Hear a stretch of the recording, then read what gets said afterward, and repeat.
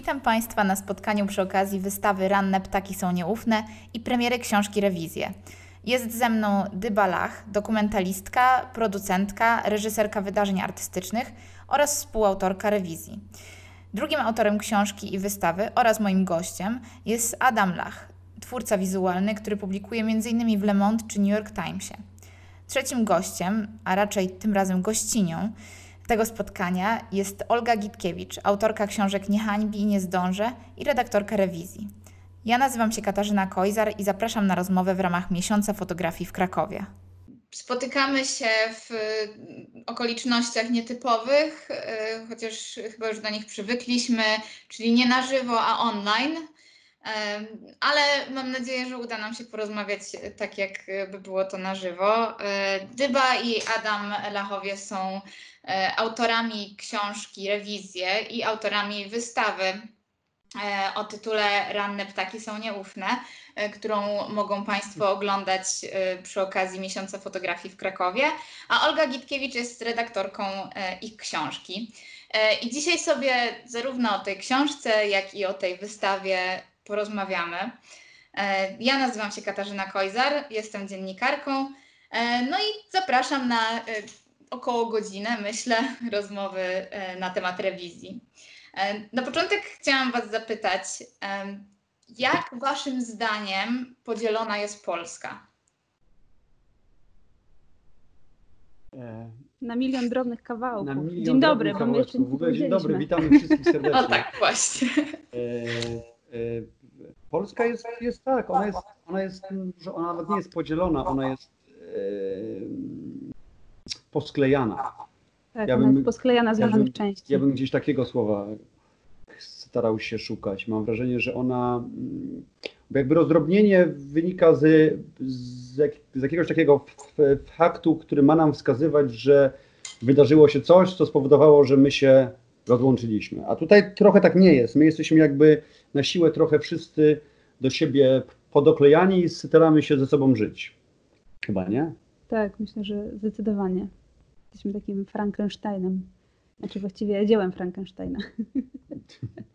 No Czyli myślicie, tak. że to, co się utarło w takim powszechnym podejściu do Polski, to, że y, mamy Polskę A i Polskę B, Polskę y, z jednej strony politycznej Polskę z drugiej strony politycznej, to jest zbyt duże uproszczenie. Tak, tak, to jest tak. zdecydowanie, to jest zdecydowanie bardzo, to jest bardzo duże uproszczenie. Myśmy się przekonali o tym wielokrotnie i sami szukaliśmy w ogóle dowodów na to, że tak nie jest, bo nam się wydawało, że to uproszczenie, które jest tak często spotykane w mediach, tak, często spotykane w tej jakby retoryce e, publicznej, politycznej, medialnej, że to jest, e, że, to jest krzywdzące dla bardzo wielu stron.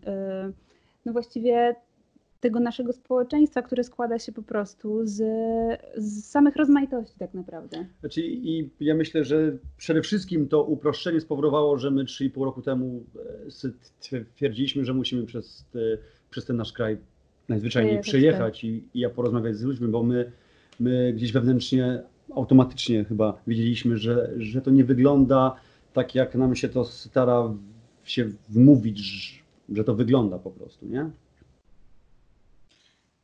Czyli dochodzimy do, mm, do tego, skąd y, Wasz pomysł na, na cały projekt. Y, z takiej, y, jak rozumiem, z, takiego nie, nie, z takiej niezgody na to, jak, jak, to, jak Polska jest postrzegana, jak różne regiony są postrzegane, ale też chyba z ciekawości takiej reporterskiej, jak to było? Ja tak, myślę, ciekawości na pewno. Tak, no, ja myślę, że to może nawet nie z niezgody, ale przede wszystkim nas niezwykle interesowało. Olga też jest tutaj z nami, która przede wszystkim też jakby jeździ, podróżuje i pisze i rozmawia. I jakby w takim założeniu, czy to reporterskim, czy stricte dokumentalnym, gdzie, gdzie ma się wyrażenia y, takie mocno dziennikarskie albo trochę bardziej artystyczne, jakby takie przewałkowane przez jakby takie nasze doświadczenie, my zawsze jednak szukamy tego źródła, czyli tej takiej podróży, która wynika u nas po prostu z ciekawości tak naprawdę.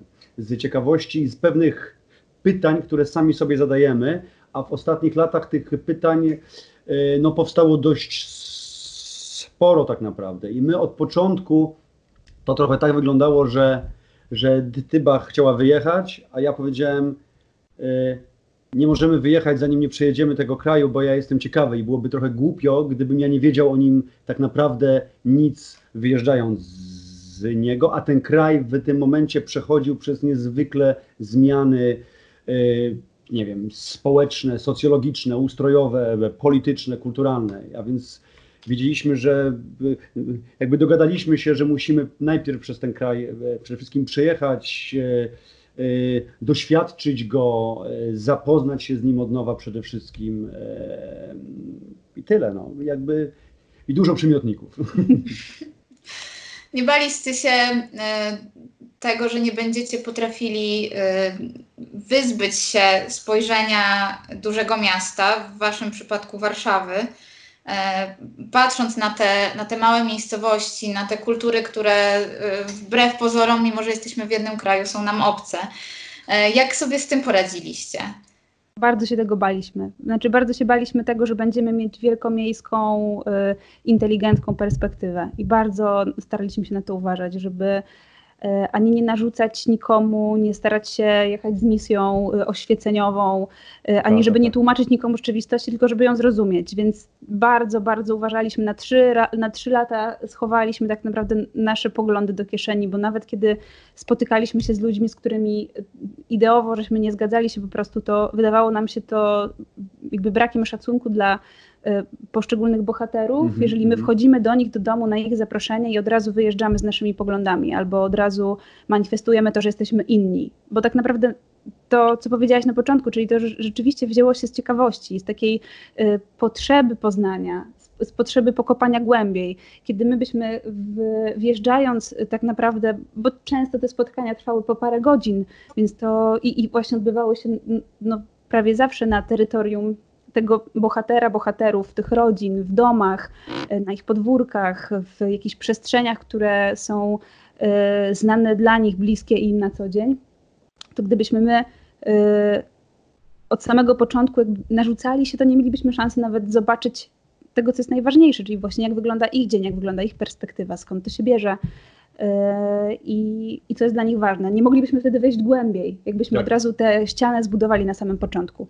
Więc... Ja też myślę, że też na początku nawet nie było wśród naszych bohaterów, nie było nawet takich e, pytań, e, co my myślimy przede wszystkim, a więc nas to też cieszyło. Oczywiście one się gdzieś tam jak najbardziej się pojawiały i my czekaliśmy jakby z odpowiedzią, albo czasami staraliśmy się dosłownie nie odpowiadać, bo nie chodziło o to, żeby sprowadzić naszą rozmowę na tematy różnic ideowych czy poglądowych, a w szczególności politycznych, bo jeżeli te pytania o naszą taką tożsamość gdzieś się pojawiały, to one bardzo często pojawiały się w kontekście politycznym.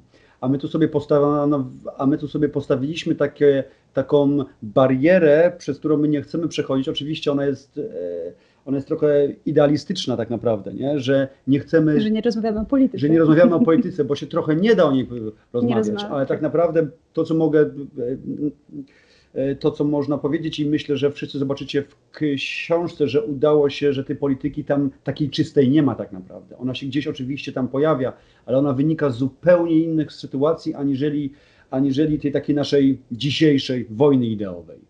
Mhm. To właśnie, to było bardzo odświeżające, jak czytałam waszą książkę, że E, człowiek się spodziewa, że e, tutaj jest wioska, gdzie najwięcej osób w całej Polsce zagłosowało na PiS, więc dostaniemy zaraz historię zwolennika Prawa i Sprawiedliwości, a zupełnie nie w tą stronę idziecie. Ale e, to, co ty powiedziałaś, to jest ciekawa sprawa, że te wasze rozmowy trwały po kilka godzin, że to było siedzenie do wieczora w domach waszych bohaterów, a z tego często wychodzi tylko parę zdań E, historii, e, czy maksymalnie strona. Czy to już była rola Olgi, która ścinała Wam bezlitośnie e, wszystko, co mieliście spisane? Czy jak, jak wyglądał ten proces obcinania tych ogromnych historii, które pozbieraliście przez trzy lata? Tak, na szczęście Olga robiła taką niezbędną selekcję, a potem jeszcze kolejną, a potem jeszcze kolejną. A potem jeszcze dostaliśmy uwagi od grafików, że nie zmieścimy się na stronie, więc i tak musimy coś ściąć więcej.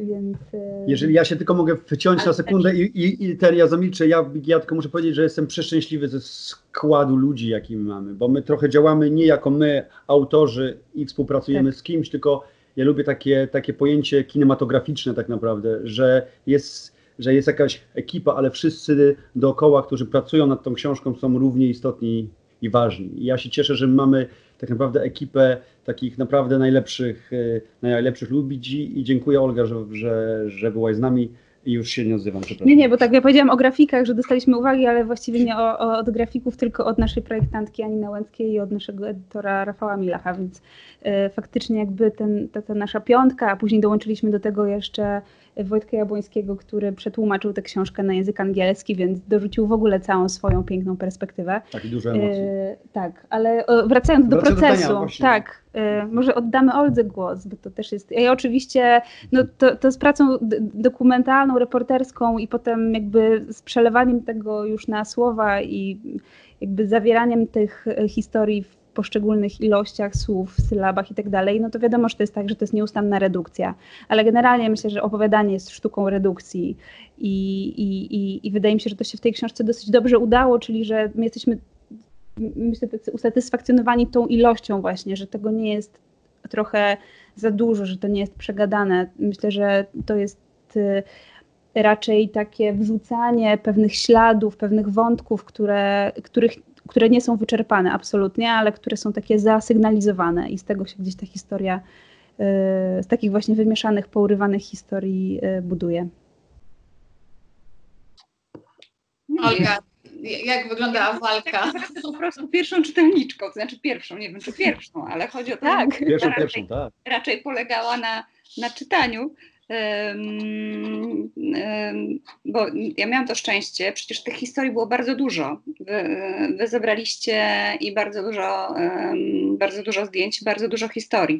Pewne wątki w nich się uwypuklały i pewne wątki były w nich w bardzo wielu wyraźne, ale właśnie ja się bardzo cieszę, że mogłam przeczytać e, ten ten taki surowy materiał z całej podróży. Dla mnie to było bardzo e, odświeżające i bardzo takie mocne doświadczenie.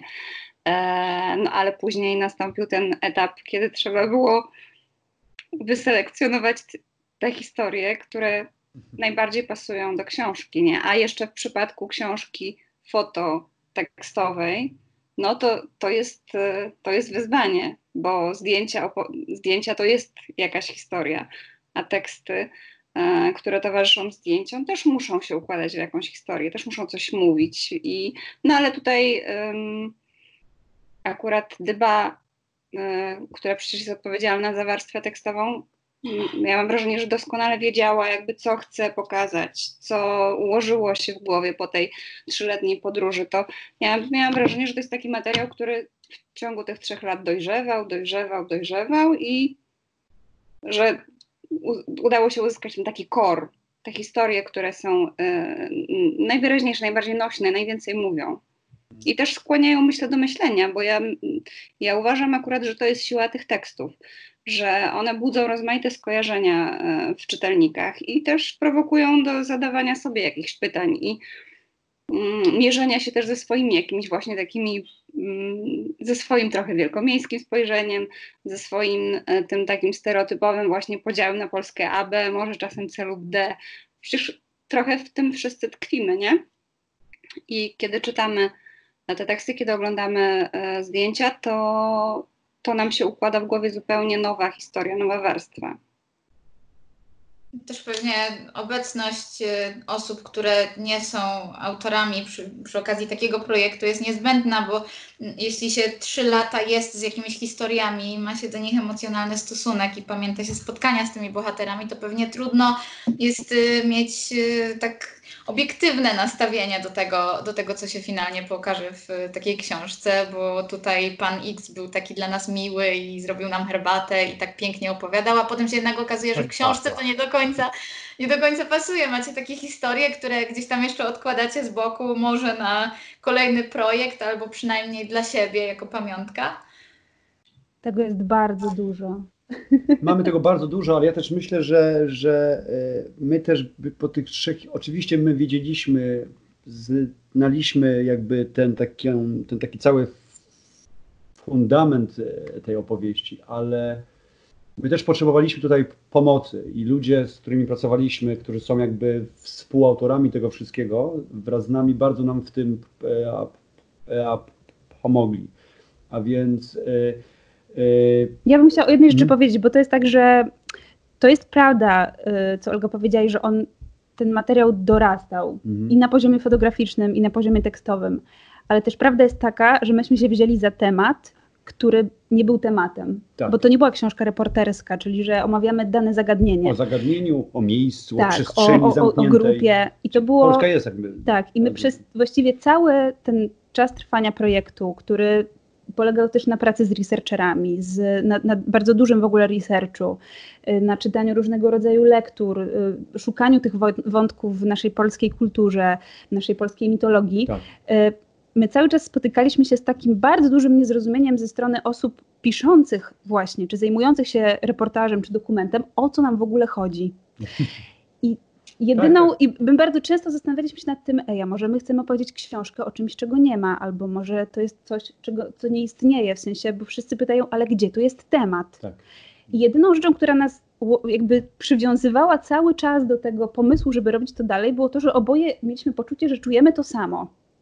I tak naprawdę jak Olga do nas dołączyła, to była nasza pierwsza konfrontacja z mhm. osobą, która nie była z nami w tej podróży, nie siedziała z nami w tym samochodzie, ale jednak zrozumiała te historie, o które nam chodziło. I rzeczywiście to był, Olga była naszym właściwie pierwszym, pierwszym recenzentem, cenzorem, ale też takim testerem, czy w ogóle to jest czytelne, czy to jest, czy to się da zamknąć w całość. Więc ja myślę, że ten projekt dojrzał, ale on potrzebował porodu i jakby tutaj był dokładnie ten etap, kiedy pojawiła się Olga, kiedy pojawił się potem Rafał. Tak, tak, albo jakimś Mam takim... nadzieję, że to bardziej rodzić po ludzku niż... Rodzić po ludzku, tak. nie, to, nie, to było absolutnie, to było absolutnie wspaniałe. Ja, się, ja, ja miałam sobie bardzo dużo obaw, bardzo dużo takich... E, mm, wątpliwości co do w ogóle jakości też swojej pracy, bo to jest tak, że wiadomo, że my się przywiązujemy do bohaterów, przywiązujemy się do tych historii, przywiązujemy się do jakiegoś swojego stylu, do swojej emocjonalności.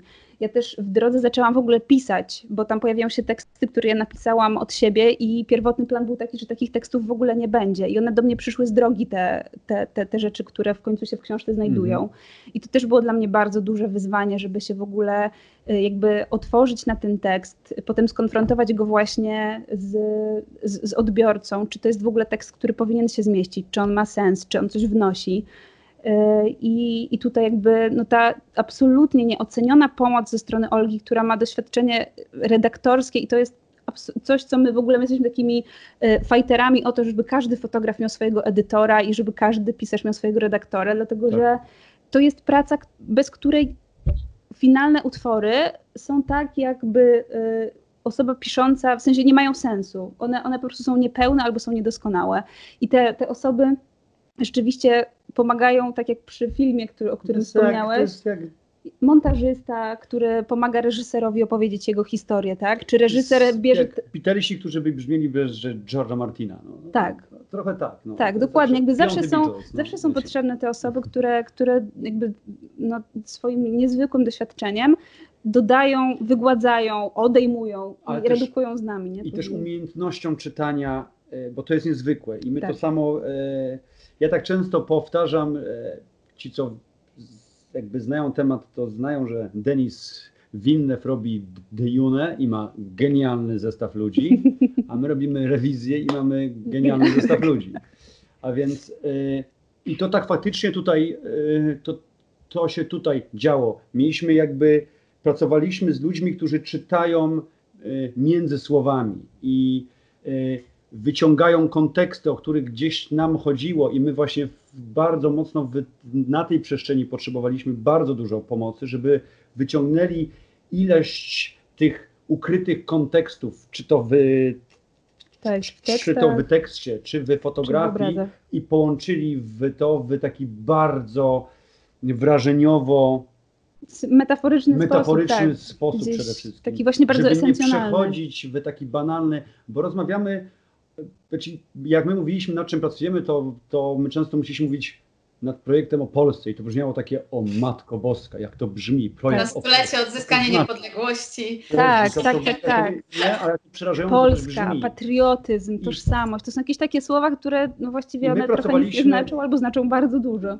I my pracowaliśmy wcześniej nad projektami, które były zamknięte jakby takimi znaczeniami tak naprawdę, a tu się wzięliśmy za taki temat, który jest rozległy jak, szukam metafory, ale nie powiem, Ocean bo... spokojny. O rozległy jak ocean spokojny, czyli bardzo rozległy, a więc, a więc yy, i trzeba było sięgnąć do kultury, do literatury z XIX-wiecznej tak naprawdę, nie? Przede wszystkim, do, do wszystkich naszych zjawisk, które się przejawiały w ostatnich 200-300 latach.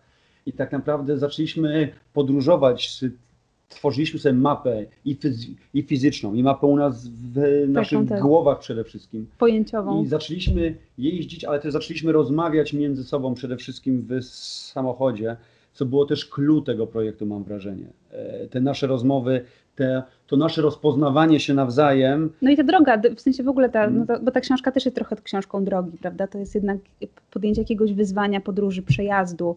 To zawsze się wiąże z tym, że się kogoś spotyka, coś się ze sobą zostawia, dokąd się zmierza. Mhm. Jakby oczywiście ta, w ogóle ta romantyczna podróż w Polsce i w polskiej kulturze jest bardzo obecna.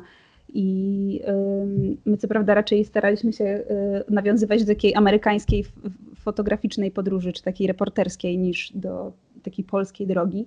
No ale gdzieś jednak ta książka tę naszą, w tę naszą emocjonalną polską strunę, myślę, uderza. Znaczy ona ma to fajnego, że ona ma znamiona reporterskości, jeżeli chodzi o sposób postępowania, ale zarazem jest ogołacona z tego, co reporterskość potrafi w takim bardzo indywidualnym toku opowiadania, potrafi ogołocić albo jakby uniemożliwia też pewne ruchy, nie? Znaczy ja pracuję już 20 prawie lat w mediach i wiem, że jak działałem dawno temu e, jako reporter, to miałem trochę ograniczone ruchy co do jakby, jakby formuły w, w, w, wypowiedzi, a tutaj jakby znaleźliśmy jakby możliwość, żeby działać w taki sposób, ale nie blokować się na, na pewne opowiadanie przede wszystkim. Tylko, tylko tu potrzebowaliśmy na to bardzo dużo czasu przede mhm. wszystkim, nie? Bardzo dużo czasu.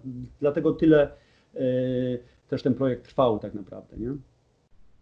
Nie płoszyliście o, przepraszam, Olga. Mów.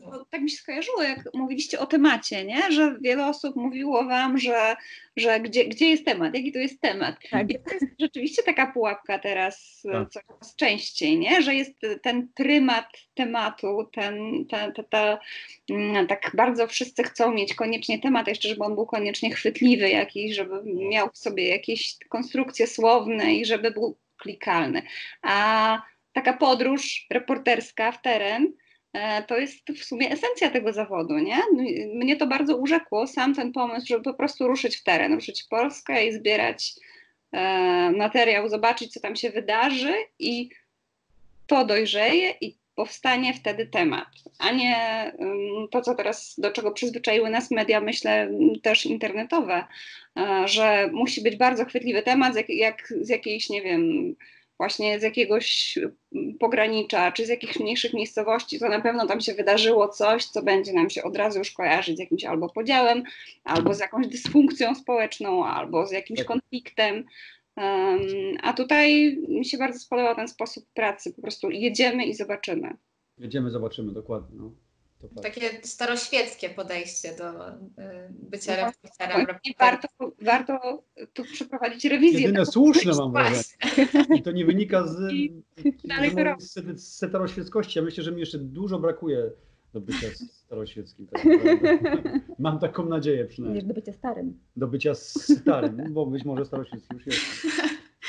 E, ale czy wasi y, bohaterowie nie byli spłoszeni, jak przyjeżdżała para z Warszawy i mówiła, no robimy tutaj taki projekt o Polsce, proszę opowiedzieć i proszę się ustawić do zdjęcia ładnie. Nie, czy... to tak nie wygląda trochę. To tak nie, nie, nie, to, to jest jak takie rozpoznawanie drugiego człowieka, to jest naturalne, to jest taki proces, który wynika po prostu z chęci po, poznania i jak już się to robi od jakiegoś czasu, to po prostu tych ludzi się, się poznajem my często robiliśmy zresztą tak, że rozmawialiśmy nawet nie z myślą o tym, że to będzie w książce czasami. Tak, tak, A ja nawet nie robiłem fotografii, tylko później się orientowaliśmy, że cholera, chyba powinniśmy tam wrócić i jeszcze, jeszcze z tym człowiekiem, albo z tą rodziną, albo z kimkolwiek innym jeszcze, jeszcze trochę porozmawiać, po czym wjeżdżaliśmy, rozmawialiśmy. Ja nie czułem, żebym miał jakikolwiek pomysł na zrobienie zdjęcia i czasami jeszcze raz wracaliśmy, żeby zrobić fotografię na przykład. A więc, a więc e, to jest długotrwały faktycznie proces, który wynika jakby z. Jeżeli w człowieku jest chęć poznania, to nie ma problemu, żeby, żeby się zaspokoić, że tak się, że, tak się wyrażę. Bo to tylko trzeba po prostu być szczerym i prawdziwym wobec ludzi, z którymi się spotyka, niezależnie od tego, czy się z nimi zgadzamy, czy się z nimi nie zgadzamy, bo tak jak mówiliście na początku, my te nasze poglądy chowaliśmy, a więc summa summarum trochę zgadzaliśmy się na początku ze wszystkimi tak naprawdę, nie? Bo, no po prostu byliśmy otwarci słuchaliśmy, na wszystko. My po prostu słuchaliśmy. słuchaliśmy. My, my, nie opiniowaliśmy, my słuchaliśmy. Tak. Znaczy, też zrezygnowaliśmy z paru wywiadów, kiedy ktoś przez telefon już zapowiedział nam, że chce nam coś innego udowodnić na tak, przykład. Tak. No więc jakby te rzeczy wydawały nam się od razu bezcelowe, ale też w tej książce są jakby dwa rodzaje spotkań. Znaczy, może jest ich więcej, ale y, są takie spotkania, które przyszły nam z drogi. I to były absolutnie przepiękne i najciekawsze spotkania, bo my mniej więcej w połowie tej podróży zorientowaliśmy się, że y, kiedy nie mamy przygotowanego planu, tylko jedziemy właśnie w jakieś miejsce i bierzemy po prostu z drogi to, co na niej leży, to że wtedy po prostu dochodzi do absolutnie fantastycznych spotkań i ci ludzie wyrastają nam po prostu na naszej drodze. Y, I, i, i to było absolutnie fascynujące, bo naj, naj, najciekawszą dwójkę młodych dziewczyn, młodych kobiet y, spotkaliśmy i poprosiłam je, żeby opowiedziały nam o swoim dniu, o swoim mieście i zaprowadziły mnie do swojego ulubionego lumpa. I tam się tak naprawdę też wydarzały te, te ja relacje. Kupiłem świetny płaszcz za 28 zł. Tak. ale ale, ale właściwie no to było takie typowe spędzenie też czasami z kimś dnia w jego miejscu, w jego miejscowości. Y, I to nie po to, żeby jakby wyciągnąć z niego jakieś informacje, tylko żeby rzeczywiście sprawdzić, jak to wygląda, poczuć. Nawet bardziej poczuć niż sprawdzić. Tak. Mm, ale są też wywiady, które dojrzewały bardzo długo i spotkania, które dojrzewały bardzo długo. I mm, mm, takim wywiadem, który dojrzewał naprawdę przez wiele miesięcy, przez kilkanaście miesięcy, bo namawialiśmy naszego bohatera na, roku, na wywiad nie? prawie półtora roku. E, tam są też takie opowieści, czyli to właściwie jest no, dosyć złożony proces. Często oczywiście było tak, że my spotykaliśmy się z kimś po uprzedniej rozmowie telefonicznej, mówiliśmy, że pracujemy nad książką, że chcemy o jakimś zagadnieniu porozmawiać, wjeżdżaliśmy do kogoś do domu i e, i, I, udawało się i porozmawiać, i wyciągnąć z tego później esencję, jeszcze zrobić fotografię.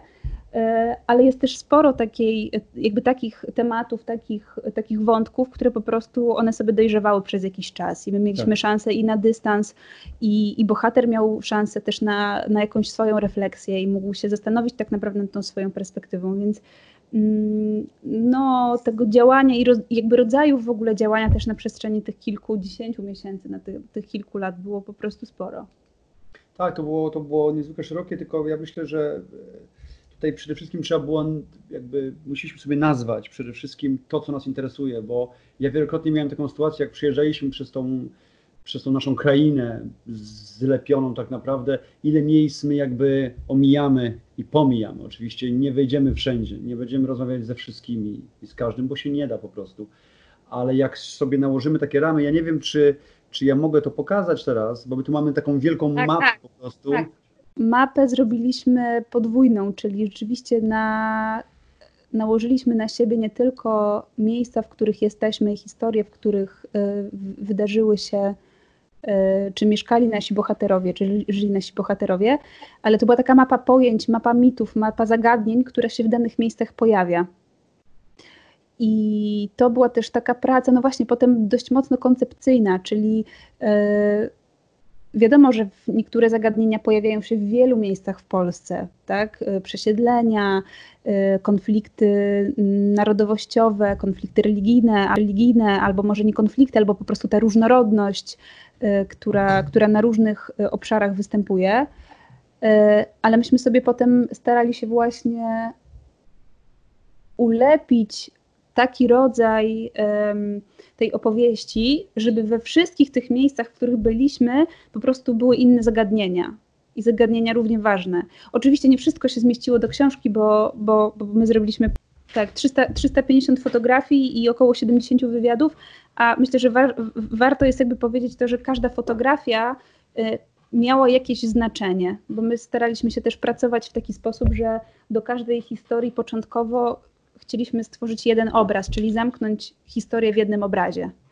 I potem na etapie projektowania książki, układania tych dwóch narracji, bo, bo, bo jednak ta narracja wizualna idzie trochę swoim torem, ta narracja tekstowa idzie swoim torem, y, to okazało się rzeczywiście, że my tego nie jesteśmy w stanie opowiedzieć na zasadzie takiego pewnego katalogu zrobionych tematów, mhm. tak? Że mhm. będzie fotografia i do niej będzie fragment y, opowieści, bo to jest tautologia, to jest jakby opowiadanie o tym samym, że tekst z obrazem po prostu bardzo często się wyklucza, a jak są jeszcze koło siebie, to już w ogóle.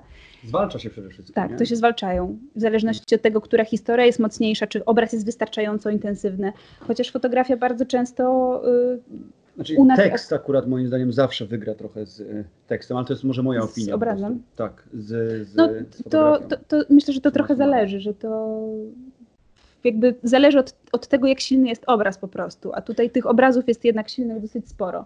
Więc no, ta redukcja też tutaj polegała później na tym właśnie, żeby tej książki po prostu nie przegadać, ale jednocześnie udało nam się, wydaje, stworzyć, stworzyć taką mm, pewnego rodzaju grę z odbiorcą i, e, i, i jakby taką właśnie mm, strukturę narracyjną, która pozwala odnaleźć historię w fotografiach i w tekstach, tylko one nie występują koło siebie. No i tutaj właściwie e, na początek ta niezwykła praca Olgi i twoja tak naprawdę, a później jeszcze praca Ani Nałęckiej, która musiała wymyśleć, jak ten tekst, chociaż one występują osobno, jak go odróżnić od tej fotografii, żeby, żeby trochę powstały dwie książki w książce tak naprawdę, nie? Na tej zasadzie. Tak.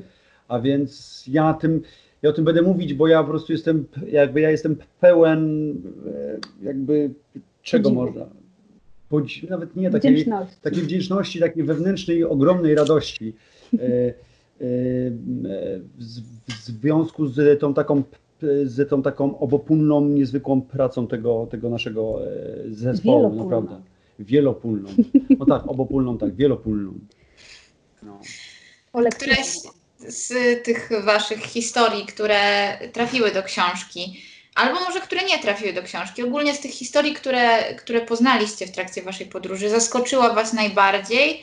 A może to jest tak, że to była seria zaskoczeń, bo tak naprawdę spodziewaliście się czegoś zupełnie innego? Jak to było? Chyba byliśmy zaskakiwani cały czas właściwie.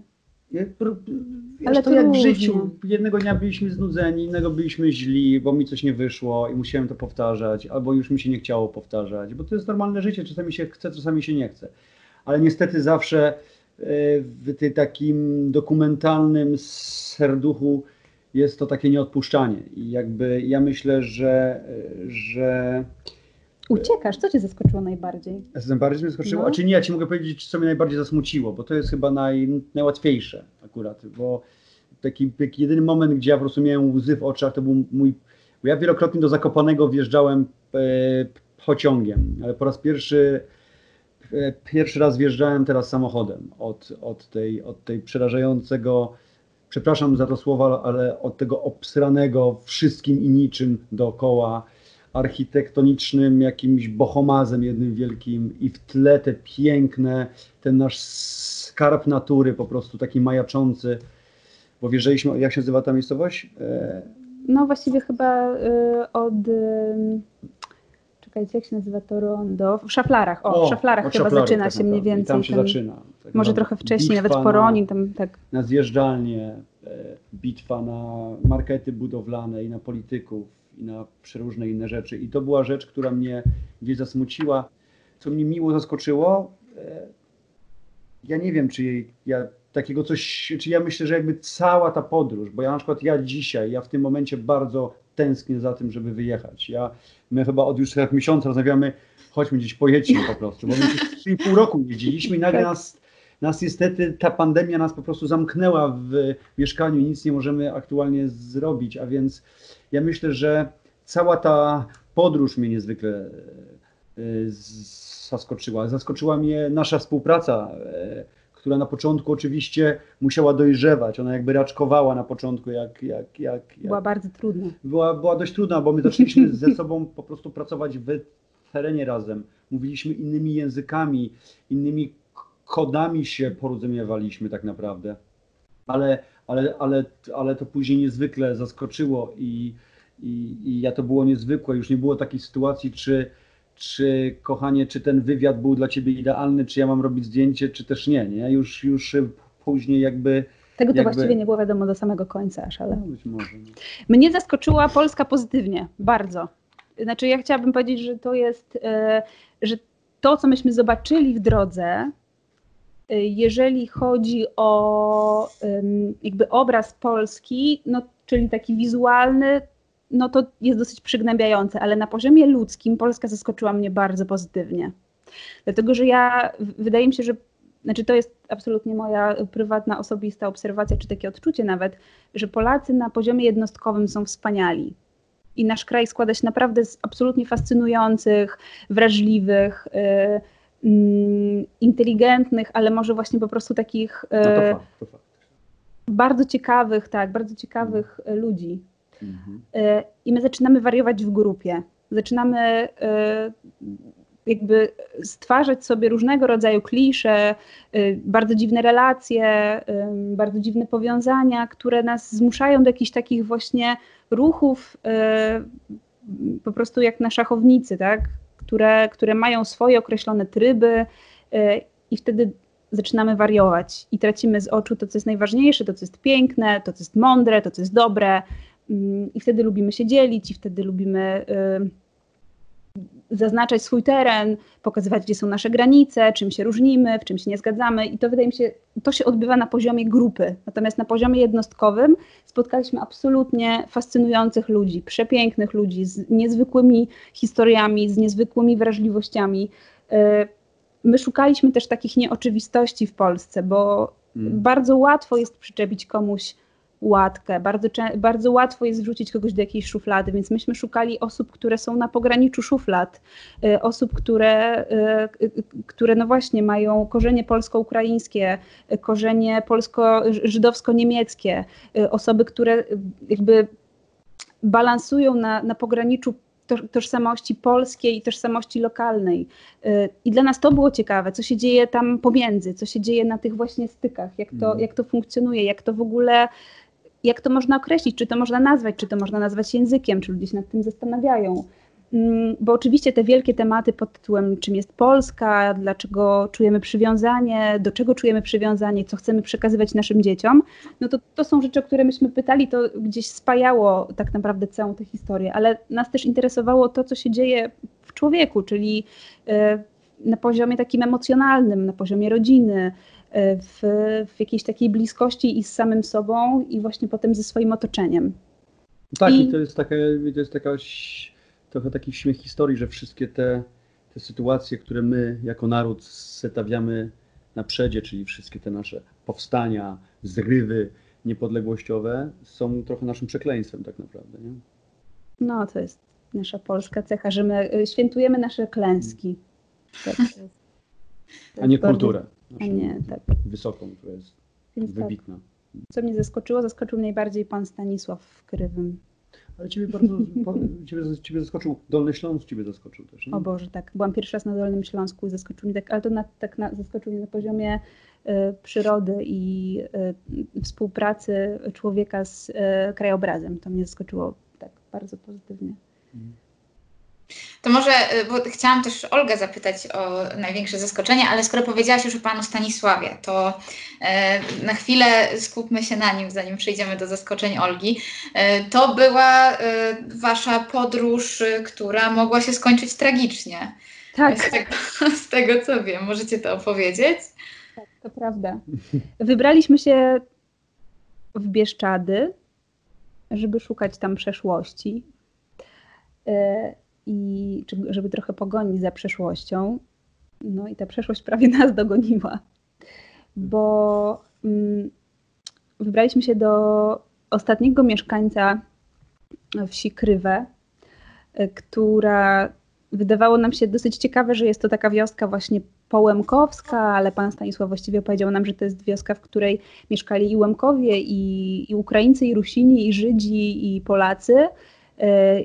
I no właśnie, chcieliśmy od pana Stanisława posłuchać, jak to jest, jak to jest być w ogóle tym ostatnim mieszkańcem tam mhm. i, i, czym on się zajmuje i co on robi, ale też czy ta historia gdzieś tam w nim jeszcze rezonuje. E, zasiedzieliśmy się u pana Stanisława i okazało się, że jesteśmy w e, Bieszczackiej Dolinie, w miejscu, gdzie absolutnie naturalnym jest występowanie stada żubrów, e, wilków, wilków niedźwiedzi. niedźwiedzi. Jest to teren tak którym. To jest ich teren. Jest Czyli teren żeby tam dojechać, trzeba najpierw jechać dwie godziny, a później trzeba iść. E, Godzina, wracać no tam, półtorej, no bo po prostu tak, wraca, szlakiem pieszym. Jeszcze nie wiedzieliśmy, czy on tam jest, nie? Tak, bo, nie, tak, to był wywiad w ogóle nieumówiony. Zapukaliśmy do drzwi, a tam nikogo nie było, okazało się. Ale nagle okazało się, że z boku mieszka taka sąsiadka, która zajmuje się wilkami notabene. Tak, jest tylko czasowo, w sensie tak. Ja, ja nam powiedziała, że niemożliwe, żeby go nie było, że on jest zawsze, więc po prostu ona do niego weszła i nas tam wprowadziła do niego. A więc to trochę też, a więc nie warto się, nie wolno się poddawać... Poddawać pukaniu. Tak, pukaniu. To jest, taka rada dla akwizytorów. Tak, ale, ale pan, pan Stanisław nas bardzo ciepło przyjął. E, spędziliśmy z nim trochę czasu, opowiedział nam o swoim życiu. No ale okazało się, że się ściemnia po prostu, a my byliśmy zupełnie nieprzygotowani y, nie tyle co do wędrówki, co w ogóle właściwie w żaden sposób. Ani no tak, nie mieliśmy ze sobą, mieliśmy z sobą jedną czołówkę i jedną lampę błyskową i to było wszystko, czym mogliśmy sobie tak, właściwie... Ja, ja co 20 sekund błyskałem lampą błyskową, e, mając nadzieję, że te zwierzęta, które słyszeliśmy dookoła nas, że je bardziej przestraszę niż rozjuszę. A więc e,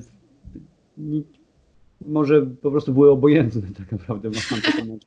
tak, ale przyznam szczerze, że ja myślałam, że ja nie przeżyję tego powrotu. Ale yes. nie dlate, dlatego, że po prostu to, co w nas wstąpiło, w sensie taki jakiś pęd e, połączony ze strachem bardzo dużym, e, jakaś adrenalina, która bardzo szybko się też wyczerpała, bo, bo my tam byliśmy jednak ubrani w ciężkie zimowe kurtki z plecakami i ten bieg do tego auta pod górę w ciemności z tymi wilkami i niedźwiedziami po prostu za plecami.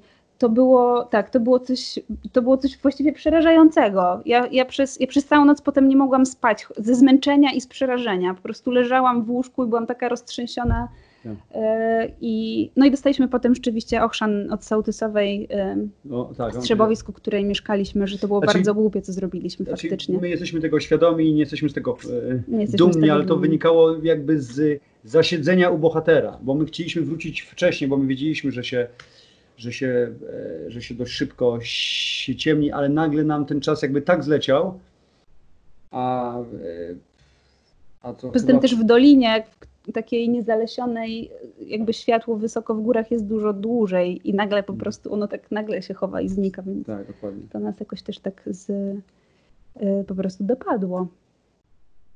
Zdjęcie pana Stanisława finalnie w książce się nie znalazło.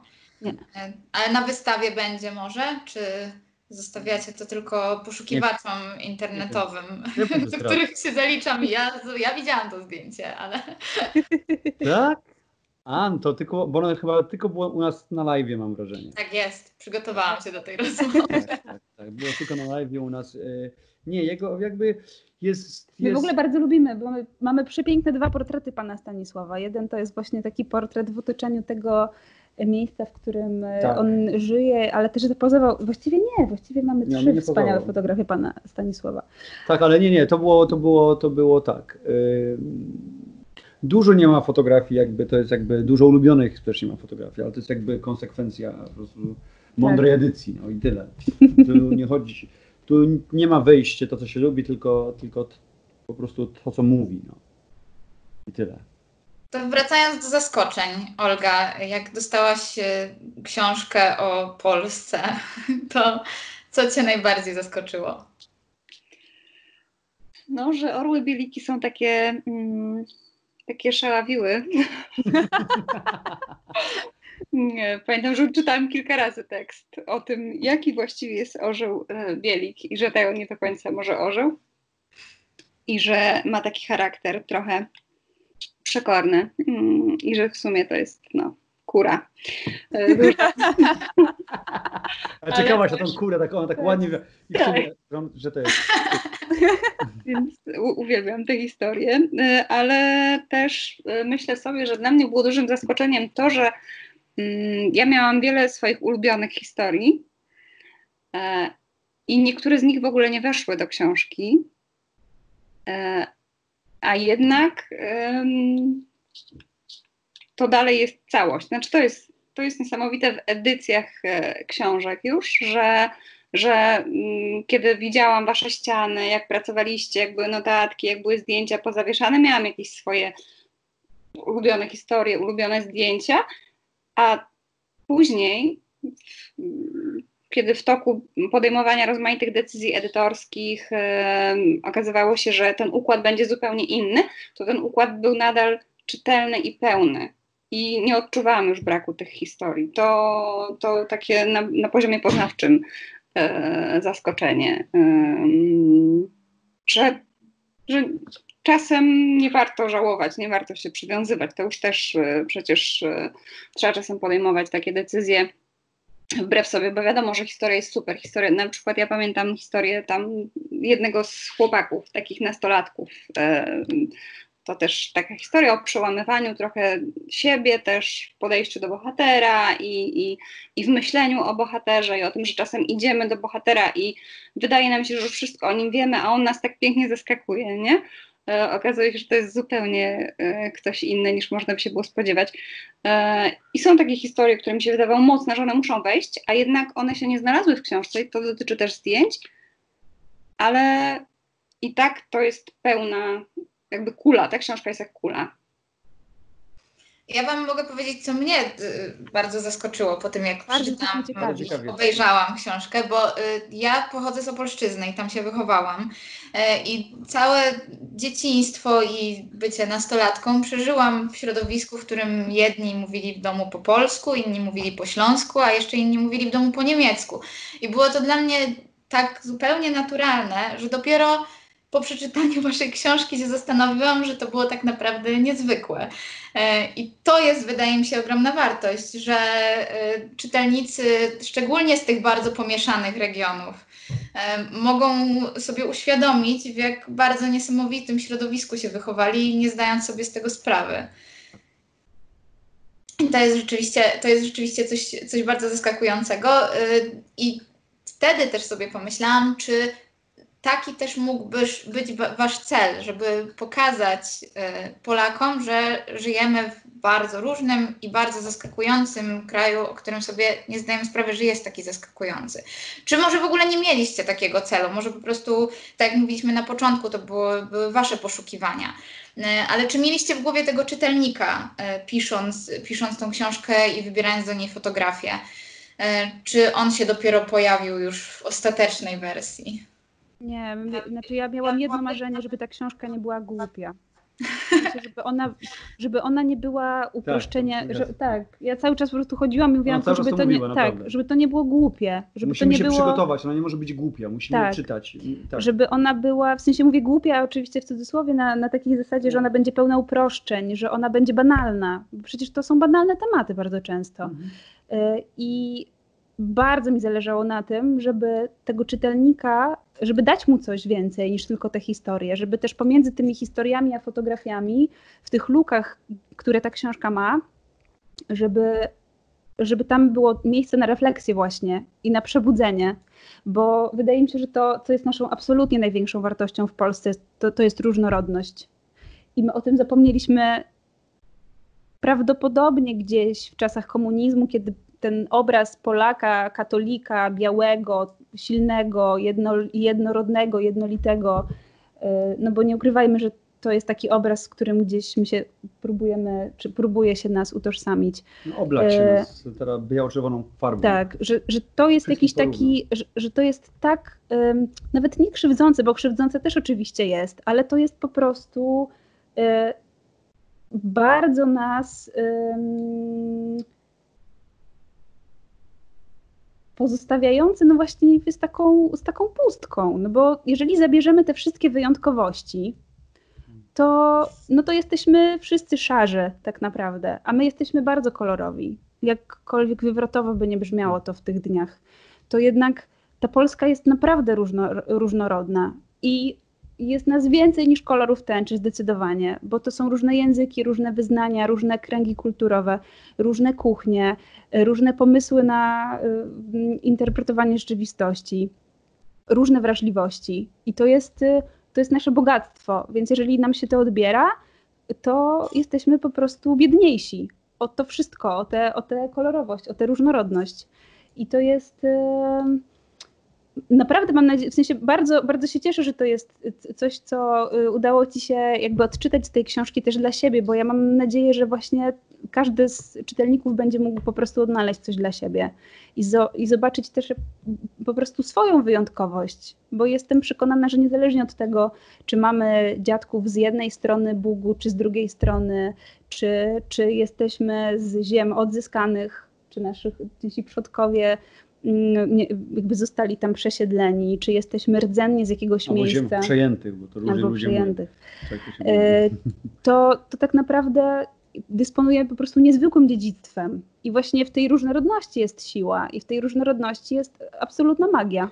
I my to zauważyliśmy już na samym początku, kiedy my zaczęliśmy, no jak my się nawet e, poznaliśmy, my się poznaliśmy sobą, okazały, tak, odkrywaliśmy się. bo jestem z zachodniej ściany Polski, ja jestem Szczecin, Zielona Góra i Wrocław, czyli ja jestem kompletnie inny sposób wychowania tak naprawdę. I nagle zauważyliśmy, że ja byłem kompletnie inaczej uczony nawet lekcji historii. Na przykład ja byłem uczony... Niż ja, tak, bo tak, ja tak. jestem warszawianką, ale Ona to jest, była było wychowana w 30 lat temu bliżej nam micie... jeszcze do, do, do, do, do ściany wschodniej niż do, niż do zachodniej. Tak, w micie Powstania Warszawskiego, a u mnie oczywiście Niemiec był tym złym, ale y, i to on najechał, ale ale tak naprawdę to powinniśmy się bać Rosjan przede wszystkim, nie? A, a, więc, a więc e, mnie gdzieś tego uczono i się okazało, że my się już na takich bardzo podstawowych rzeczach potrafimy tutaj, może nie różnić, no bo my się nie kłóciliśmy, nie sprzeczaliśmy, tylko że... Ale że mamy inne perspektywy Mamy inne perspektywy wychowania tak naprawdę, a więc, a więc my już a tych perspektyw jest kilkadziesiąt gdzieś, że, w Polsce przynajmniej. Tak, że my, bo... że my wyjedziemy w coś niezwykle zlepionego.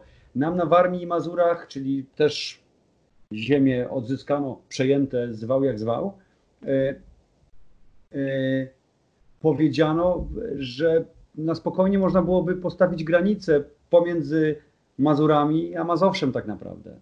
Bo oni się czują kompletnie odrębni, oni nie czują nic wspólnego z Mazowszem, a w szczególności z Warszawą tak naprawdę. Oni są kompletnie odrębnym regionem, a więc, a więc my od początku gdzieś w nas to tkwiło, że ten kraj jest, jest jest za bardzo wybielany przede wszystkim. A jak się pojedzie na Śląsk czy do Polszczyzny, to to się jeszcze mocniej tak naprawdę widzi. Właśnie sobie nawet wynotowałam takie zdanie y, z waszego bohatera właśnie z Warmii, y, który mówi, że się czuje obywatelem Warmii, a to, co się dzieje w stolicy, to go w ogóle nie obchodzi. I to jest, to jest też dość, dość uderzające, że możemy sobie uświadomić, że jednak te nasze duże miasta, nie tylko Warszawa, ale tak samo Kraków, to nie są centra wszechświata i nie wszyscy w nie patrzą tak. jak w święty obrazek. E, Nawet czekając coś coś, nie? Tak naprawdę to jest, jak, jeśli się popatrzy nawet statystycznie, to yy, duże miasta, wielkie miasta, Warszawa dyktuje pewną narrację, na przykład w mediach. Na przykład niedawno przeczytałam, coś tam w Warszawie zwężano gdzieś jezdnie, a poszerzano chodniki i tytuł był jakiś e, tego typu, że jak zmieni się Polska po pandemii, spędzają w Warszawie jezdni, a poszerzają tak. jakiś chodnik. I pomyślałam sobie, jaka Polska? Przecież wasi bohaterowie z Warmii, z Opolszczyzny, z Dolnego Śląska, kompletnie ich nie obchodzi perspektywa tego, co tak. się dzieje z jezdnią w Warszawie.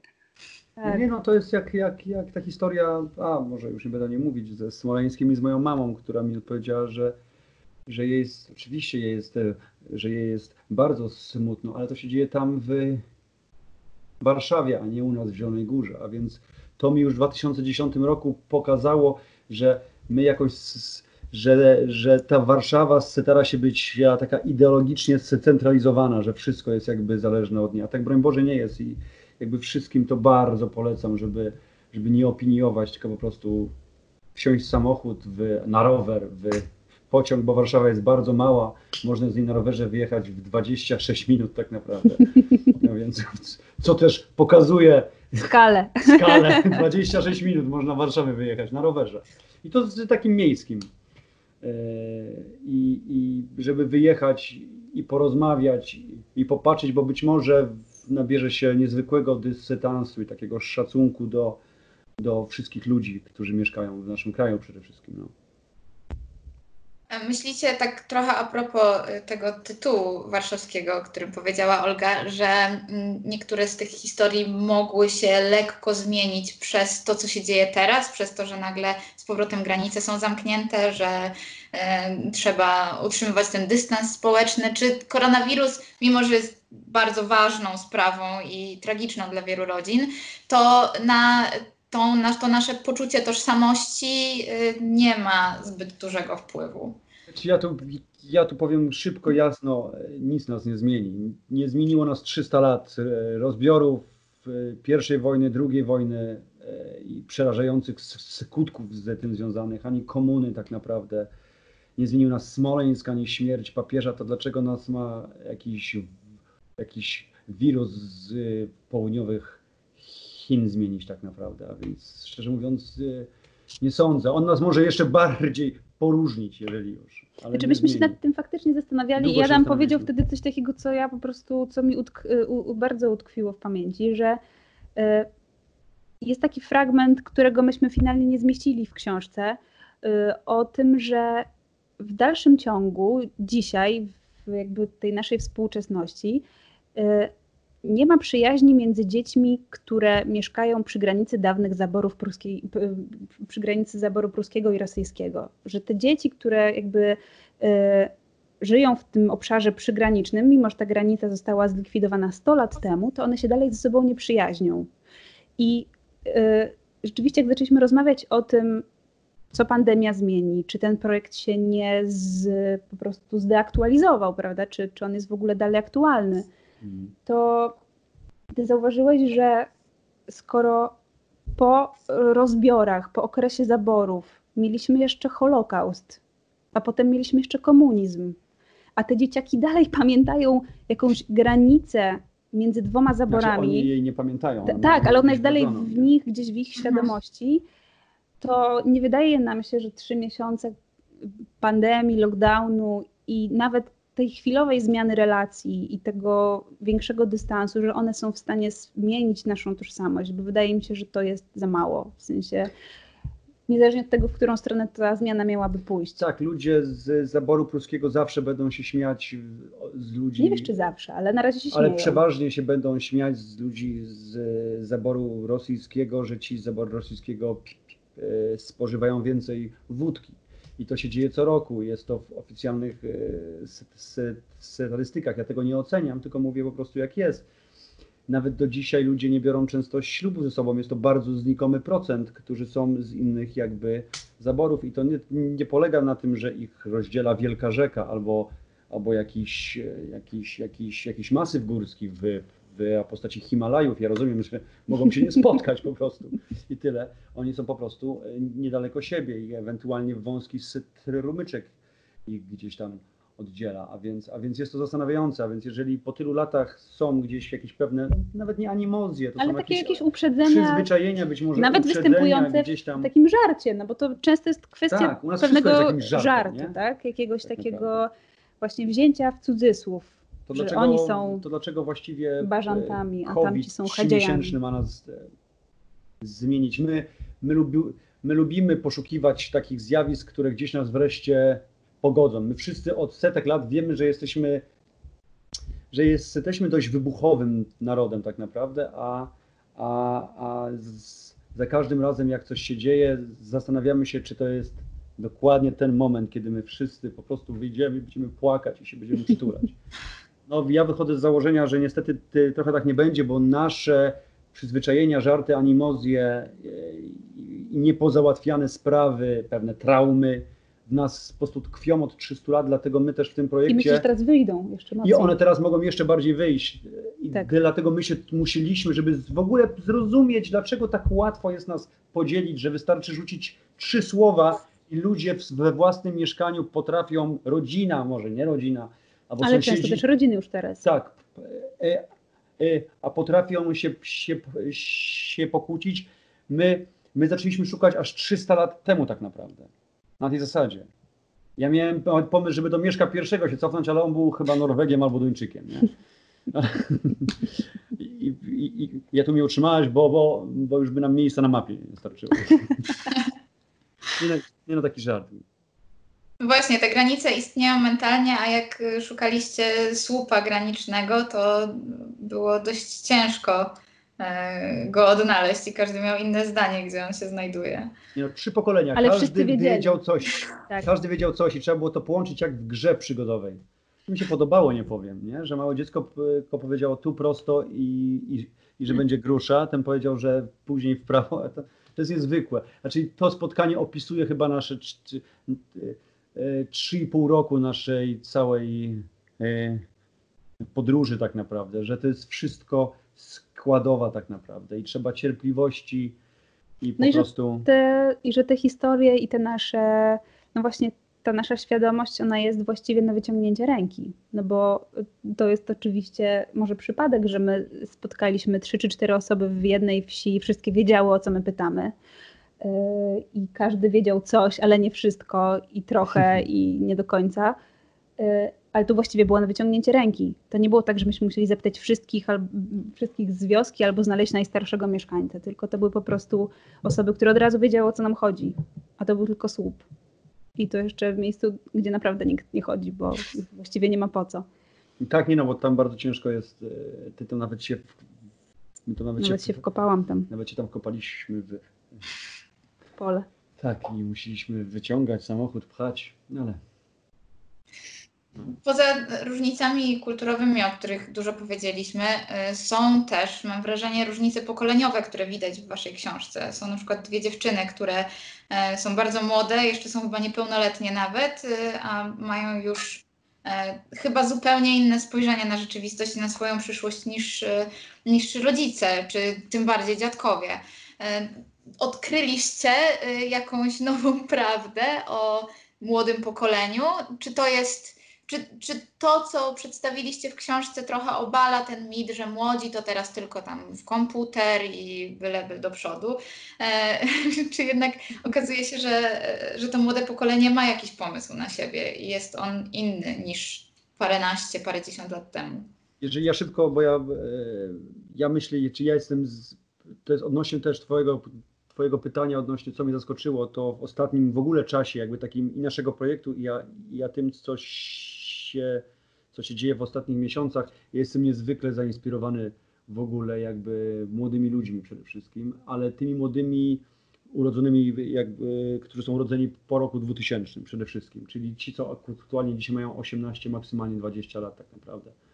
To jest niezwykłe, jak oni są kompletnie inni, jak oni są, w, ja nie chcę mówić za wszystkich oczywiście, ale jak oni są w większości E, świadomi po prostu tego, co się dzieje i jak pewne rzeczy nazywać po prostu. I nie mają najmniejszych skrupułów, żeby to nazywać. Mi się, mi się, mi się to niezwykle podoba, jestem jakby, jestem jakby pełen e, podziwu dla, dla młodych ludzi, naprawdę. Tak, młodzi ludzie, ja myślę, że w ogóle to jest taki, to jest coś, co mnie też bardzo pozytywnie zaskoczyło, właśnie ta świadomość yy, bardzo nieukorzeniona jednak tutaj w Polsce, ale jednak naprawdę świadomość i taka pewność siebie i poczucie własnej wartości i plany na, na życie, które są myślę zupełnie oderwane od tego, co się dzieje, od tej naszej rzeczywistości mm. tutaj, od tej przeszłości, od tej nieustającej traumy.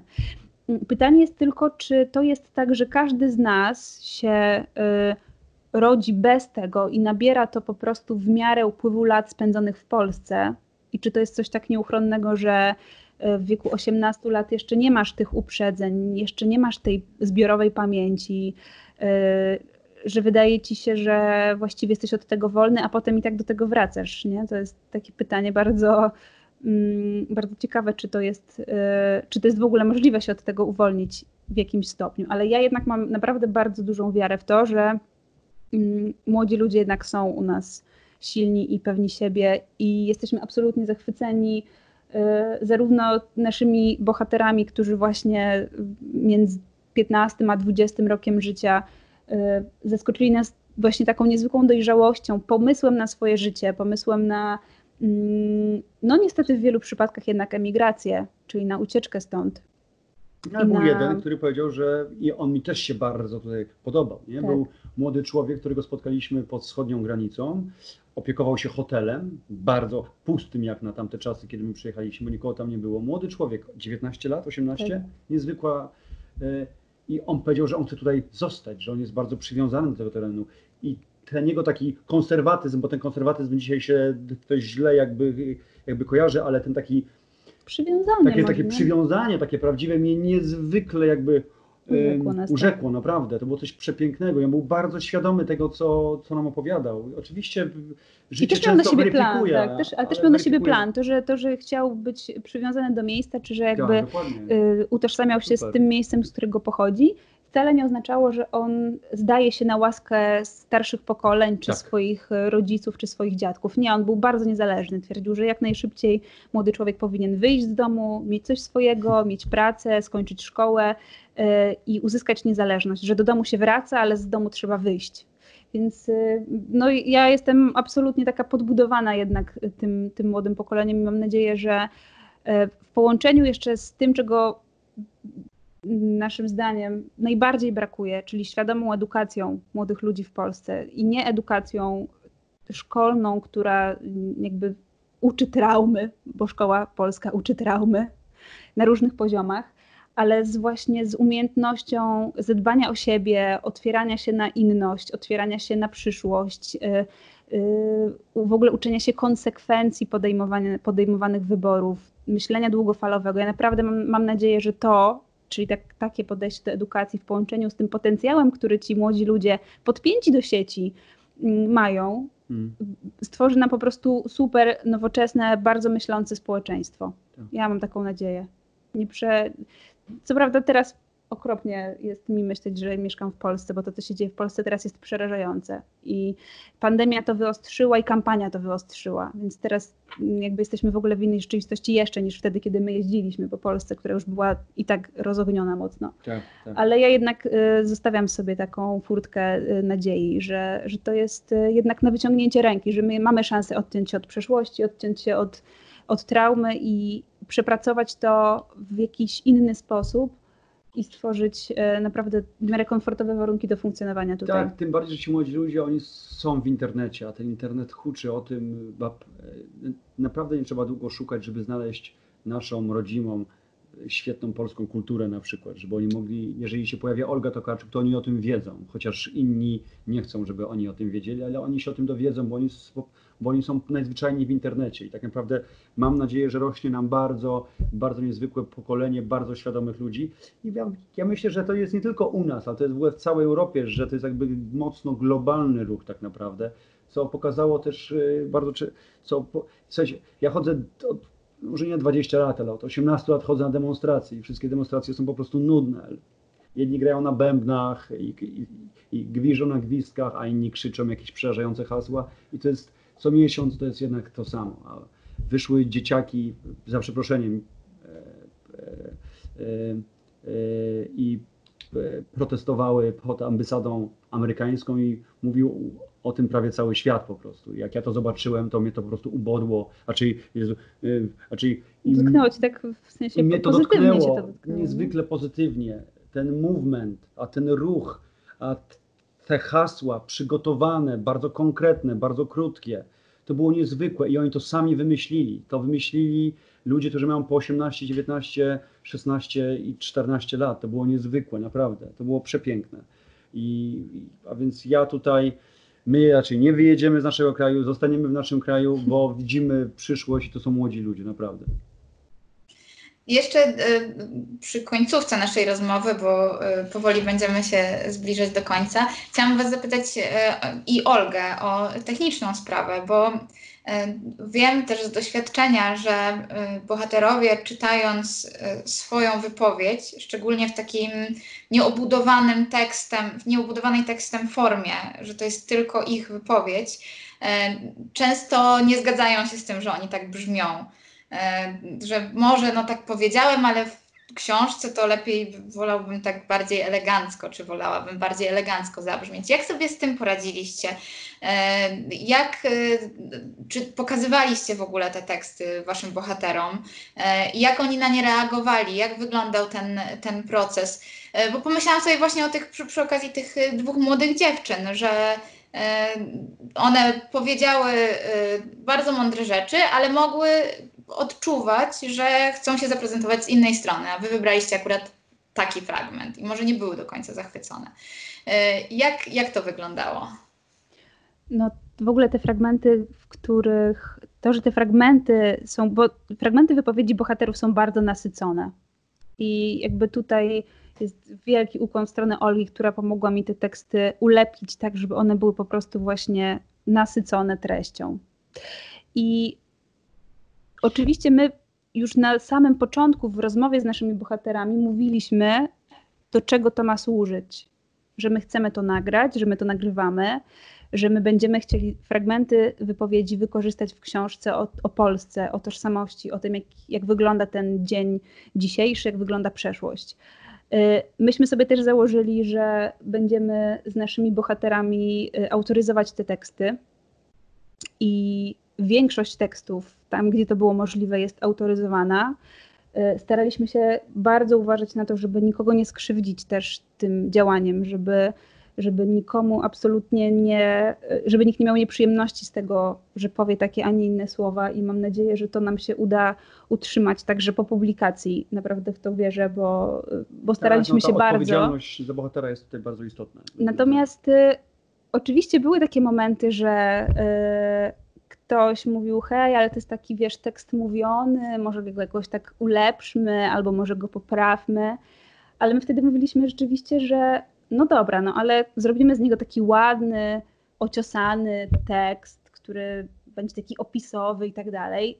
No ale to wcale się, tego wcale się nie czyta lepiej. Jakby wyjdzie na to samo tak naprawdę, nie? Bo i, i często były takie dyskusje, że no dobra, może tu dodajmy jakieś słowo, a może tu zmiękczmy tak? No, bardzo często osoby chcą zmiękczać na przykład swoje wypowiedzi w, w, podczas autoryzacji. Mm, ale właściwie w prawie wszystkich przypadkach udało nam się przekonać, że te teksty są właśnie takie, jakie mają być, bo są po prostu prawdziwe.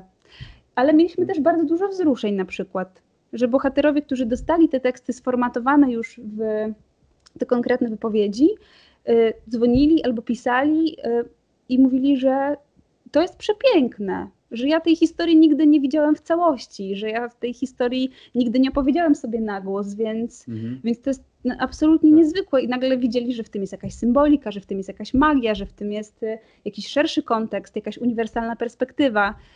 Y, część bohaterów poprosiła nas, żeby, żeby, żeby jakby nie podawać ich personaliów, nawet jeżeli te historie są y, takie dosyć intymne. I myśmy to też oczywiście uszanowali, no ale w większości udało nam się Nie podaliśmy w ogóle w książce chyba, nie? Żadnych. Są imiona. Są imiona po prostu. Są imiona. Bo to nie chodzi jakby, no. Staraliśmy się w ogóle też te historie na, na, na, na poziomie y, w ogóle konstrukcji tych tekstów też jakoś tak uniwersalizować, żeby no właśnie zostawiać tam też taką przestrzeń dla odbiorcy, żeby on zobaczył, że no tak, właściwie się z tym zgadzam, albo mogę się w tym gdzieś po prostu samemu odnaleźć. Mhm. I tutaj, ponieważ są te imiona, to teoretycznie nie byłoby wbrew sztuce niezrobienie autoryzacji, to znaczy nie skonsultowanie się z bohaterem, mm. ale jednak zrobiliście to ze wszystkimi chyba. Ja pamiętam taką swoją obawę, bo już był e, ten etap, kiedy teksty zostały wybrane, trochę podredagowane, gdzie niegdzie skrócone, gdzie niegdzie wyciągnięta ta esencja i one później powędrowały do bohaterów. Tak. I pewnie Kasiu doskonale wiesz, że to jest ten moment, kiedy masz depresję i wiesz, że te teksty wrócą i tam będzie dopisane bynajmniej. Jednakowoż uważam e, również, że, e, bo to bardzo często się zdarza, ja tak czekałam z niepokojem, jak po tej tak zwanej autoryzacji, bo tutaj raczej e, uważam warto użyć czegoś w rodzaju określenia porozumienie z, z bohaterem, porozum, tak, porozumienie z rozmówcą, a nie typowa autoryzacja.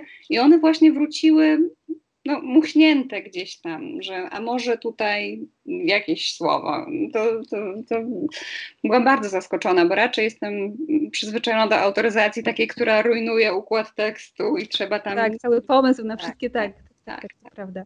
Wszyscy nagle zaczynają mówić podobnie.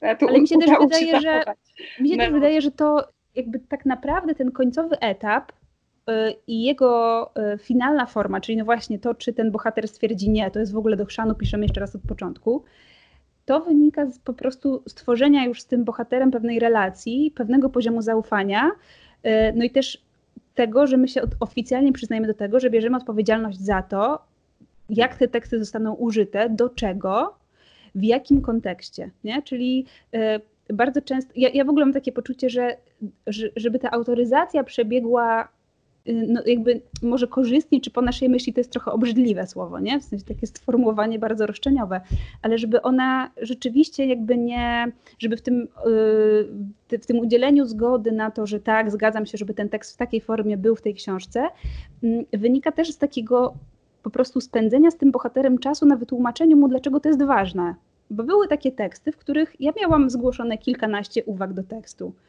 I ja właściwie każdą z tych uwag byłam w stanie wytłumaczyć bohaterowi, że okej, okay, ja to rozumiem, rozumiem tę Twoją perspektywę, ale zobacz. Jak dodamy to, to właśnie albo ściągniemy tę uniwersalność, albo stwierdzimy, że może ty się w ogóle wahasz tutaj, nie? A może nie zostawimy komuś opcji na taką perspektywę.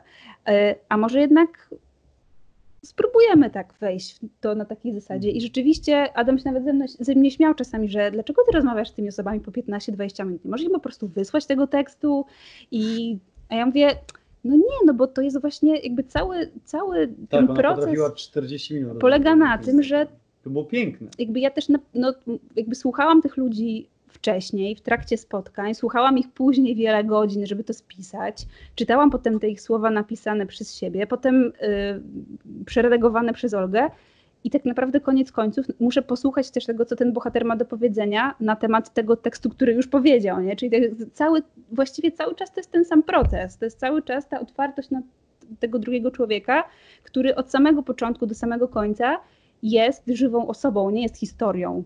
W sensie wiadomo, że jest pewnego rodzaju historią, pewnego rodzaju mhm. treścią, czymś, co zostanie, czymś, co można opublikować w różnych innych miejscach. Mm. I te rozmowy się właściwie dalej toczą, bo my część tekstów, które są nieopublikowane, chcemy opublikować w magazynach, chcemy wykorzystać do poszerzania tej historii właśnie i tak, spróbować różne tak, jakieś takie odnogi. Odłami, odnogi. I te rozmowy dalej się toczą i to, i to tłumaczenie właściwie y, dzieje się na nowo, bo teraz to już nie jest książka, teraz to już jest magazyn tak. i jaki ten magazyn ma profil. Tak, jaki profil ma i tak dalej. I, o czym, I dlaczego to jest ważne? W ogóle dlaczego to jest ważne, żeby opublikować to w tym, a nie innym magazynie? I mhm. dlaczego ta historia może być ważna dla innych ludzi? Więc to są naprawdę wielogodzinne rozmowy, mm, ale one też miały niezwykłą wartość, bo właśnie my się też dowiadywaliśmy, jak ci ludzie potem postrzegają naszą pracę i odbierają naszą pracę. Jeszcze a propos tej, tej autoryzacji, y, czy po y, cięciu tekstu przez Olgę bohaterowie nie byli rozczarowani, że rozmawialiście z nimi trzy godziny, a Olga zostawiła 14 zdań tylko z tego wszystkiego?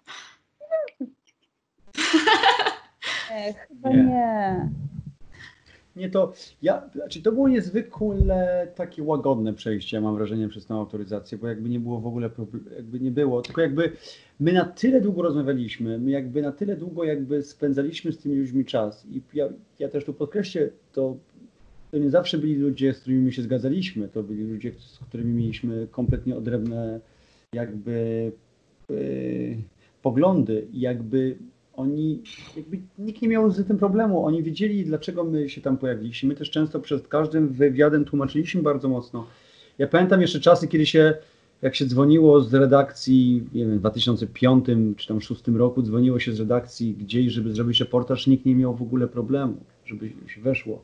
Jakieś 6-5 lat później, 2010, w okolicach 9, 10, 11 już zaczęli pytać, z jakich jesteśmy mediów, bo się, bo się bali, że jesteśmy bulwarówką. W ostatnich latach wszyscy się boją mediów i jakby odpowiadają za to same media przede wszystkim. No bo to one są odpowiedzialne za jakby utratę swojego wizerunku e, i tym podobnych rzeczy. Nie wszystkie oczywiście, ale jakby my tutaj bardzo często mówiliśmy, że my robimy książkę fotograficzną i my te dwie książki zawsze ze sobą mieliśmy. Poprzednie. Znaczy, nasze, tak, tak, nasze, nasze dwie poprzednie Więc książki. pokazywaliśmy też w jakim stylu pracujemy, że a to są jednak automatycznie takie... mówili, a dobra, okej, okay, to ja rozumiem, czyli kompletnie inne podejście. Albo na przykład no. ktoś reagował, a, to wy jesteście artystami, a to chodźcie. to też było. było w ogóle tak. nie było tutaj Chociaż problemu. przyznam szczerze, że parę y, tekstów jest nieautoryzowanych, ale to wynika z tego, że albo podjęliśmy taką decyzję po prostu, że właściwie jest to niemożliwe, chociażby z przyczyn technologicznych, tak, bo to są, nie wiem, starsi ludzie, y, albo że mamy takie poczucie, że, y, że, nie, że nie skrzywdzimy po prostu rzeczywiście tak. tego bohatera, czy tej bohaterki, czy tych bohaterów, że Mm, że bierzemy tę odpowiedzialność, podejmujemy to ryzyko i mamy nadzieję, że, że ta historia po prostu, y, że, że, że warto jest zaryzykować, że ta historia jest wyjątkowa, że ta historia jest wzruszająca, że ta historia jest piękna albo jest po prostu potrzebna. I... Tak, ale my jesteśmy wychowani, jakby, raczej ja jestem też jakby y, na tym takiej, na tym starym dziennikarstwie tak naprawdę, gdzie mogę, mogę je tak nazywać, na, na takiej genezie dziennikarstwa, że że niezależnie od tego zawsze się bierze, niezależnie od różnicy zdań czy poglądów, zawsze się bierze odpowiedzialność za własnego bohatera. Do samego końca na tej zasadzie. A więc tutaj jakby myślę, że jesteśmy jakby przeświadczeni, że jak nie mamy autoryzacji, to jakby w 99% wiemy, że nie robimy nikomu krzywdy, tylko, tylko, jakby, tylko jakby oddajemy jeszcze większy hołd i szacunek dla naszego że ta historia tam jest po prostu, po prostu, bo to też jest wyjątkowe być w tych 20 historiach. E, też, y, co zresztą y, powiedziałeś Adam trochę, mm, chyba ułatwieniem dla Was było to, że nie jesteście związani z konkretnym tytułem, ani nawet z konkretnym wydawnictwem, bo tego nie powiedzieliśmy, że rewizję wydajecie sami. Tak. E, to, to ułatwia chyba sprawę, prawda? Bo nie ustawia Was w żadnym kontekście politycznym.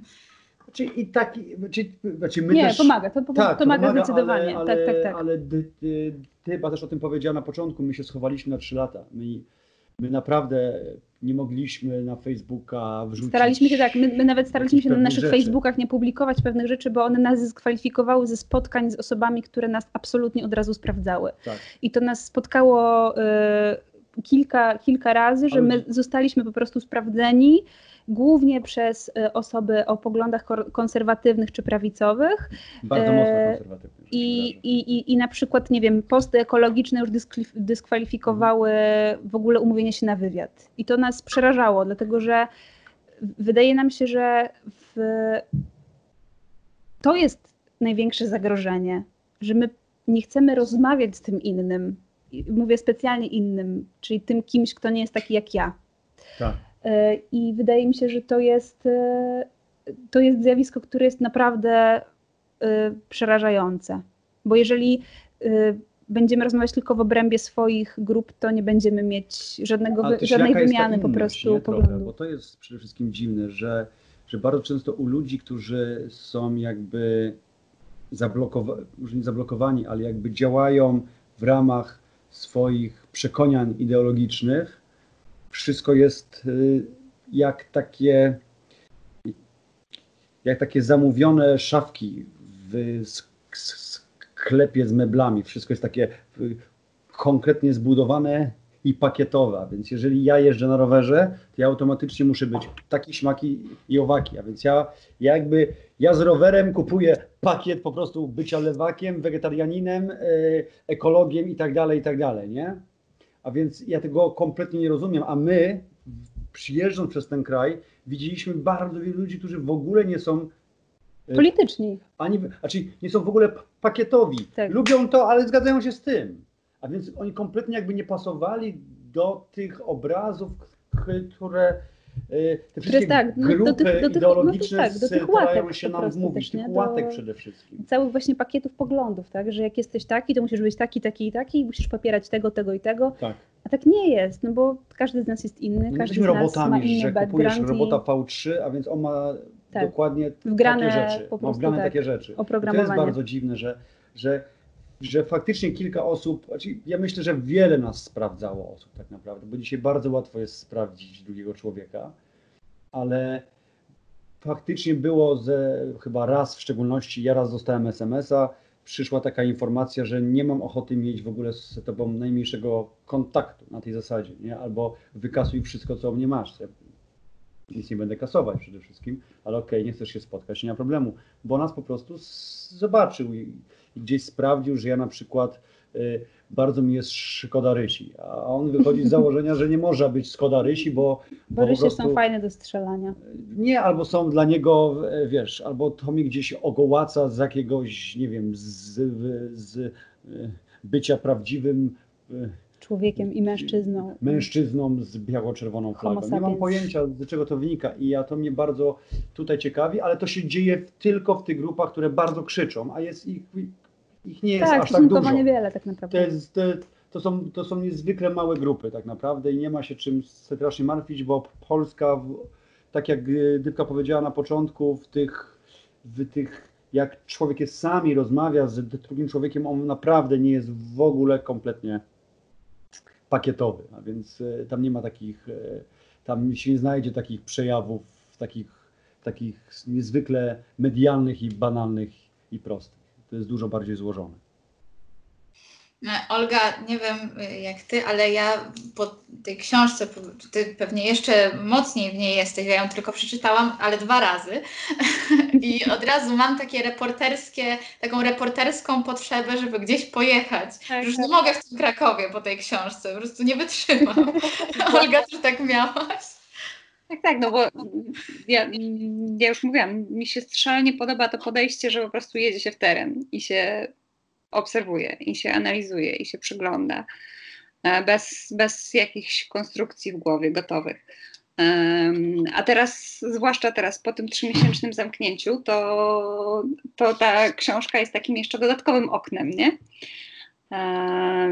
Nie możemy pojechać w wiele miejsc, ale możemy sobie poczytać rewizję. Ale to ładnie to jeszcze, zabrzmiało. No właśnie, kiedy, piękną puentę zrobiłaś, a jeszcze miałam pomysł na ostatnie pytanie, to je zadam i po prostu e, w montażu bierzecie sobie, co jest lepsze. Magia edycji. E, chciałam Was zapytać, czy po całej tej trzyletniej podróży, e, po tych 16 tysiącach kilometrów, jak sobie wynotowałam, e, nie macie takiego miejsca, z którego, do którego byście chcieli uciec z Warszawy? Czy właśnie po tej długiej podróży poczuliście, że Warszawa to jest to, jest to miejsce i że nie potrzebujecie nic innego? Mamy takie miejsce i ono zamyka Mamy. książkę. I jak wszystko się dobrze uda, to mam nadzieję, że będziemy w tym miejscu. Więc tak, to też jest taka miejsce, nasza symboliczna klamra. Co jest, co jest śmieszne, to jest o czym Rafał w ogóle nie wiedział, nasz jak, jak układał tę książkę. Układał, że zdjęcie, które zamyka miejsce, zdjęcie, które zamyka książkę jest, jest, jest naszym miejscem tak naprawdę, a po drugie jest to pierwsza fotografia, e, którą e, wykonaliśmy do, do tak. tego projektu. To tak naprawdę wszystko się o te, te wszystkie nasze pytania z, gdzieś się dokładnie w tych momentach zaczynały. I ja powstała ta fotografia, ona jest z 2017 roku i, się, i od tamtego momentu zaczęła się ta, ta, ta cała podróż. Mamy takie miejsce, jest nasze sekretne miejsce, jest to najpiękniejsze dla nas miejsce. No. Tak, Żeby dowiedzieć się więcej o tym miejscu, odsyłamy do, e, do rewizji. Do nazwy miejscowości. No, będziecie o nim słyszeć. E, bardzo dziękuję za rozmowę. E, Dyba Lach, Adam Lach i Olga Gitkiewicz. E, przy okazji zapraszam Państwa na wystawę Ranne ptaki są nieufne. Od 27 czerwca do, przez miesiąc do 26 lipca można ją oglądać w Krakowie. E, będzie można w lipcu też spotkać autorów rewizji i tej wystawy. Wszystkie szczegóły można znaleźć na stronie internetowej Miesiąca Fotografii w Krakowie, czyli fotomonth.com. E, ja się nazywam Katarzyna Kojzar. Bardzo Państwu dziękuję za obecność, za rozmowę. No i powodzenia w kolejnych podróżach. Bardzo dziękujemy. Bardzo, dziękujemy. A jeszcze Do zobaczenia. dla nas bez liku. Olga, dziękujemy Ci jeszcze raz bardzo. Mam nadzieję, że się niedługo zobaczymy. E, No i dziękujemy za wspaniałą Nie przed szkiełko. Nie przez szkiełko. Przez tak. szkiełko.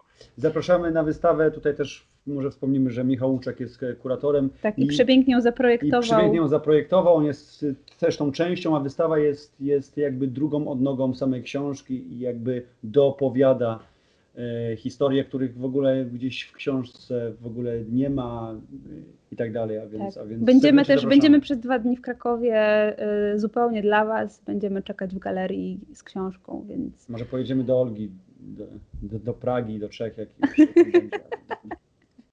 fiction.